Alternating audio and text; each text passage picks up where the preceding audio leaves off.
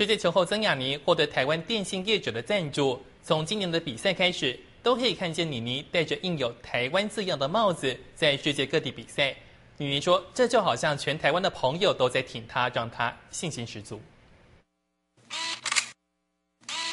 一张张穿着招牌粉红色球衣、拿着高尔夫球杆挥杆的妮妮英姿焕发，这回要戴上印有台湾字样的球帽，带领台湾征服全球。以后不管去世界的每一个角落，都会有台湾的字样在我的帽子上，跟随着我一起替我加油，也是也会提醒我，今天不管我在哪里，就全台湾的朋友跟球迷们也可以一起支持我，在背后挺我，让我更有信心的去征战每一场比赛。因为他每次在。在的时候啊，常常啊，两件鼓起都被人家打起来，他就很高兴啊。他说他现在抱着一个台湾啊，他当台湾打不起来了，所以他其实很高兴这样。不满在世界各地比赛时，台湾都得被隐藏，无法好好站出来。这次终于有机会让世界看见台湾。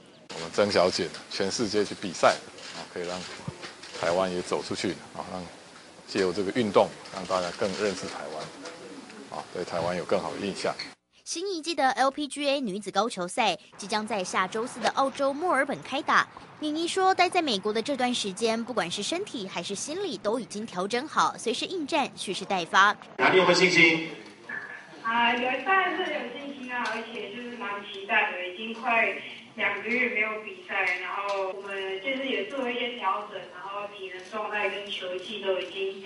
都已经准备好了，所以非常期待下一场比赛。新年度新气象，被妥战略，充满信心。不一样的是，这次女妮有了台湾的加持，更有力量。